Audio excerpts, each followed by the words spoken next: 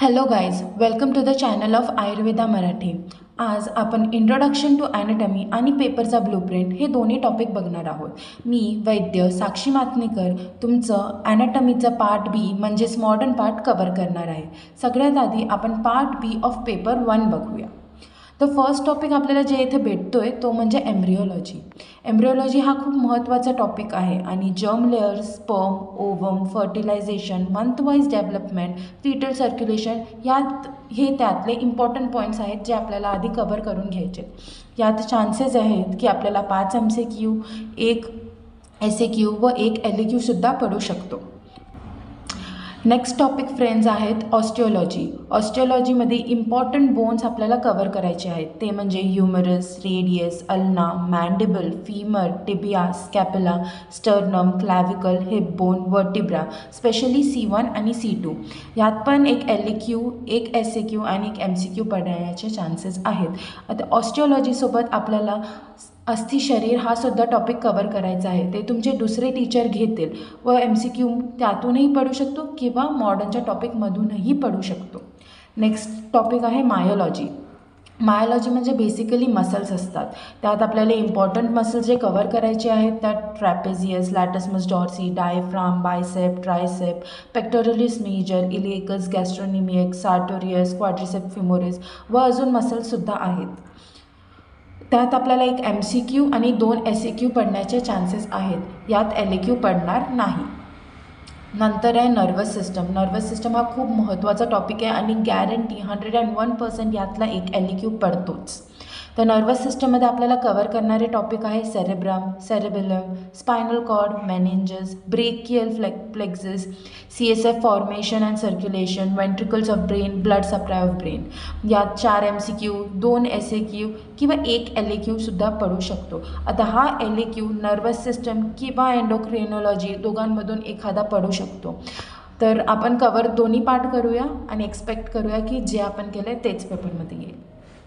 त्यानंतर आपल्याला आहे एंडोक्रेनॉलॉजी आणि लिम्फॅटिक सिस्टम एंडोक्रेनॉलॉजीमध्ये ॲक्च्युली सहा ग्लँड्स आहेत पण आपण मेजर तीन फर्स्ट कवर करूया आणि त्यानंतर उरलेले तीन पण घेऊया. इन केस एखादा ऑड क्वेश्चन पडला तर ते सुद्धा मिस व्हायला नको.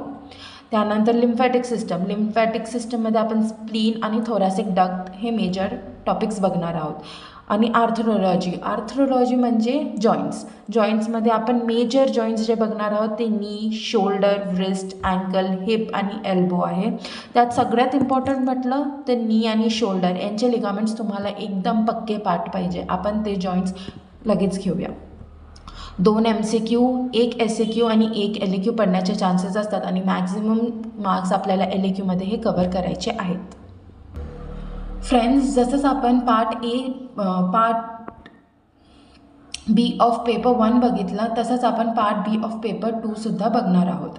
यात आपल्याला respiratory system digestive system cardiovascular system असे टॉपिक्स आहेत.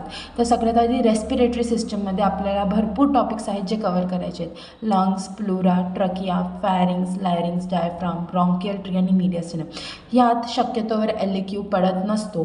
परंतु एस ए क्यूचा टॉपिक खूप महत्त्वाचा आहे. लंग्सची एखादी साईड तुम्हाला विचारू शकतात. त्यानंतर डायजेस्टिव्ह सिस्टम डायजेस्टिव्ह सिस्टमवर एक एल क्यू पडतोच. मोस्टली स्टमक किंवा लिव्हर किंवा पँक्रियाजवरती असतो.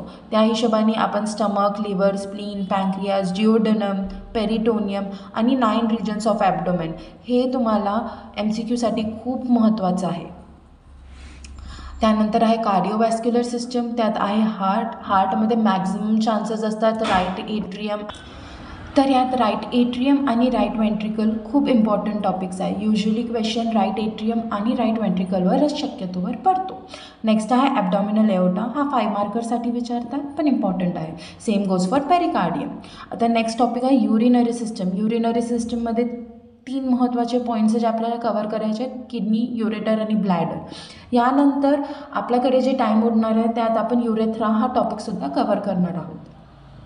त्यात दोन एम सी क्यू एक एस ए क्यू आणि एक एल ए क्यू पडण्याचे चान्सेस असतात. एल ए क्यू शक्यतोवर किडनी या टॉपिकवरच पडतो किंवा युरेटरवरही पडू शकतो. नेक्स्ट आहे reproductive system reproductive system usually L A Q पडत नाही. खूप ऑरचा क्वेश्चन आहे. मॅक्झिमम एस ए क्यू किंवा एम सी क्यू पडण्याचे चान्सेस असतात. पण जर एस ए क्यू पडला तर तो शक्यतोवर प्रॉस्टेट ग्लॅनचे लोब्स आणि युटेरसचे लिगामेंट्सवरच पडतात. आपण फॅलोपियन ट्यूबसुद्धा कवर करणार आहोत. त्यानंतर सेन्सरी ऑर्गन्स सगळेचे सगळे सेन्सरी ऑर्गन्स खूप महत्त्वाचे आहेत. आपल्याला सगळे सन सेन्सरी ऑर्गन्स हे कवर करून घ्यायचे आहेत. Thank you so much guys for seeing the video patiently मी हे सगळे टॉपिक्स तुमचे कवर करून घेणार आहेत आणि एक्सपेक्ट करते की तुमचे ह्या पेपर खूप चांगले जावे. थँक्यू